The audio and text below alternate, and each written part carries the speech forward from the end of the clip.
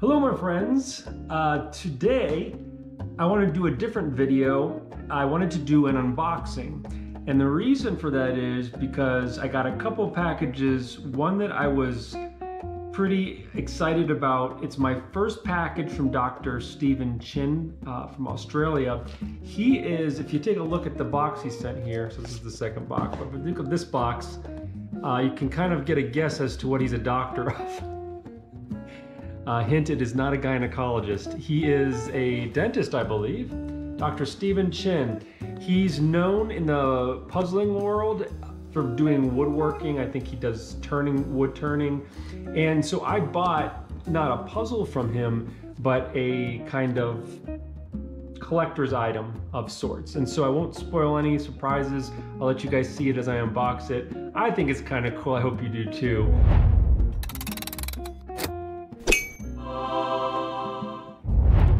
Trusty razor here and I'm gonna go ahead and open this up. And this is from Brisbane, I believe. Nope, Berala, which I don't know my geography well enough to know where in Australia that is, but I will be in Australia later this year. I believe in June, May or late May or June. Uh, I'm gonna do a little tour there. It's not vacation, it's for work, but we're gonna probably try to have some fun while I'm there. I mean, you don't fly literally to the other side of the earth and not try to have a little bit of fun, right? All right, so let's open up what we got here.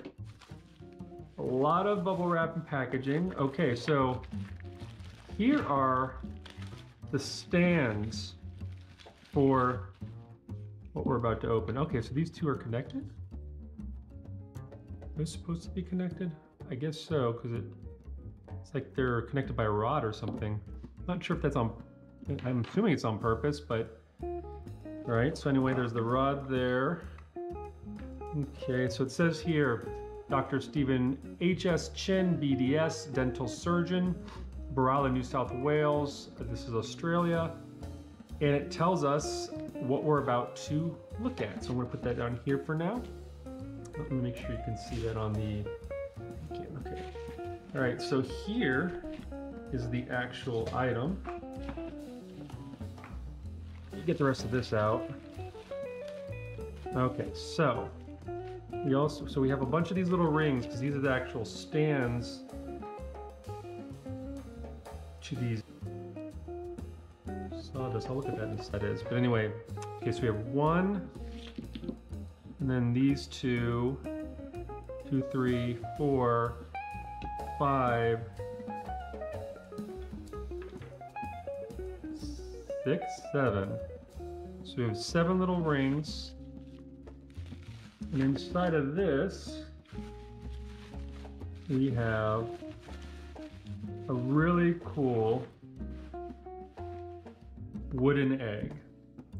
Now, you might say, well, why is this wooden egg so cool? And it has on here, this is reverse tread open. So it's telling me how to open it. Because inside this egg, there's something else. And it, he basically has here a list of all the different woods uh, that he used to make these things.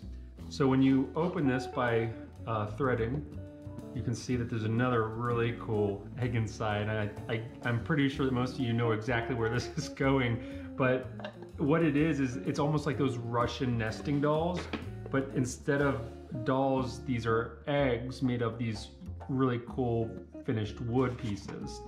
And so the first one's threaded, but I don't think the rest of them are. Yeah, uh-oh.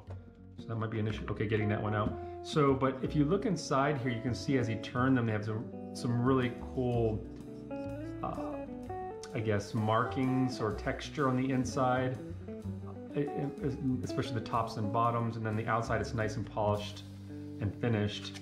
And when you put them together, because they're out of one piece of wood, you can see that the wood matches, the, the rings on the wood matches, which is really nice. Shows that they're out of one piece of wood there. And these little stands are so that you can actually put them on the stands to display them, which I fully intend to do. As uh, I did not pay all the money for these. Uh oh That's one thing that I'm gonna have to now wonder, why is there two different stands like this?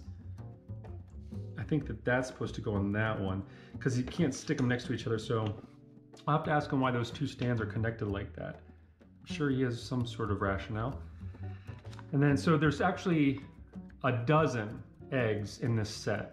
So you could get either six or a dozen, and I got the dozen. And this one is a little less.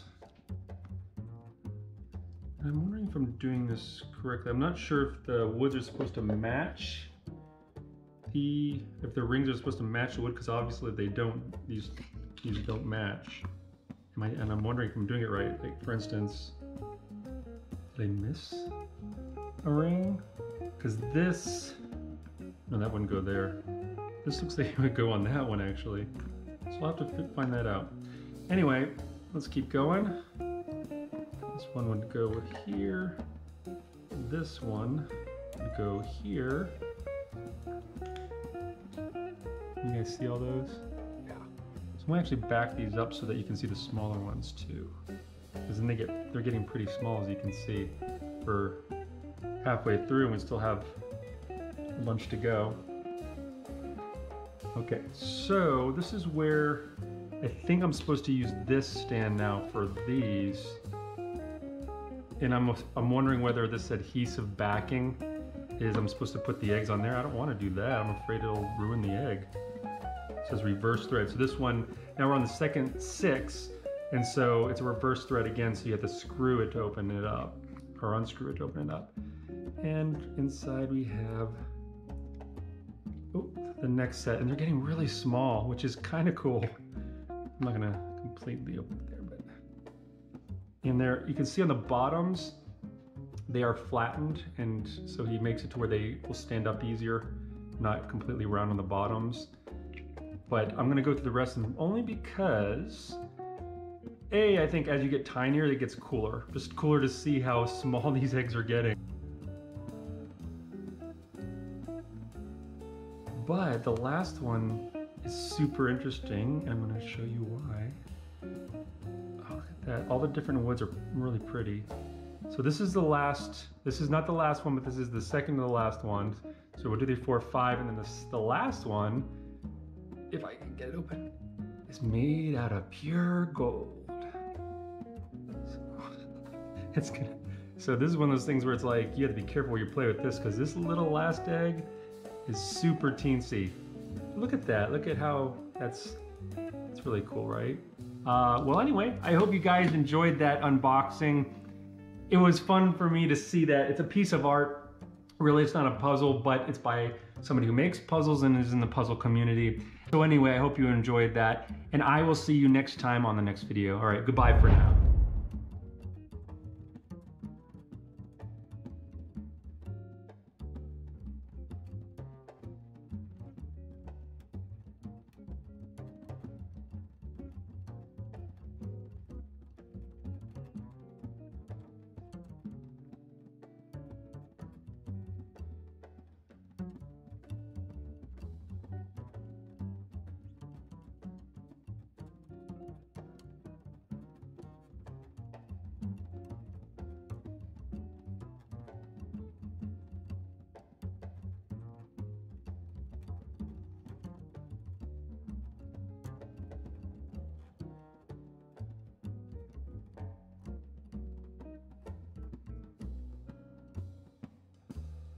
Thank